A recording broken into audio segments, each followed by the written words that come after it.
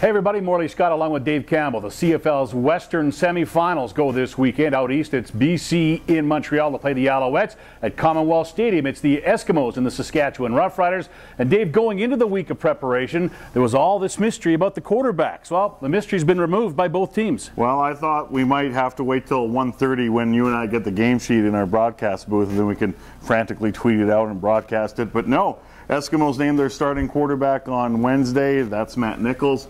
And the Riders named their starting quarterback on Thursday. That is Kerry Joseph. Darian Durant not quite ready to play.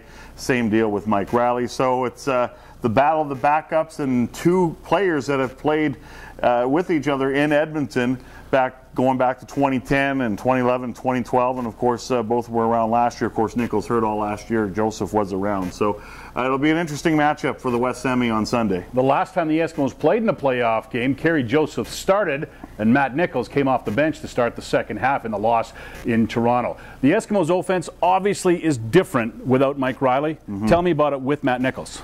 Well, Matt Nichols is more of a, a, classic drop back, stay in the pocket type quarterback. He does move. He doesn't move as well as a Mike Reilly, but he can move in the pocket and stay, stay alive and make plays.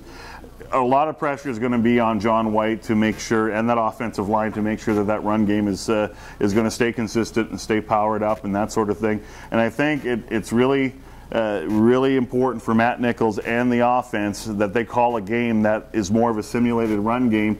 So you're going to see probably a lot more screens and swing passes and shovel passes. What we see already in the offense with Mike Reilly, but I think it's uh, something that you're going to see a little bit more under Matt Nichols. And then, of course, that hopefully is going to open up things downfield in the intermediate and deep area. The Eskimos and Riders have played each other three times in the last six weeks of the CFL schedule. Two of their last three games were in Regina, each team winning one of those games. They'll meet again this week in the Western semifinal. Last week's game in Regina got a little chippy. There's some bad blood here, Dave. Yeah, there is. And they're, they're, I think they're just sick of playing each other, to be quite honest with you, which makes uh, Sunday's matchup even more uh, intriguing and special. And, you know, football, you're supposed to have a healthy dislike for one another.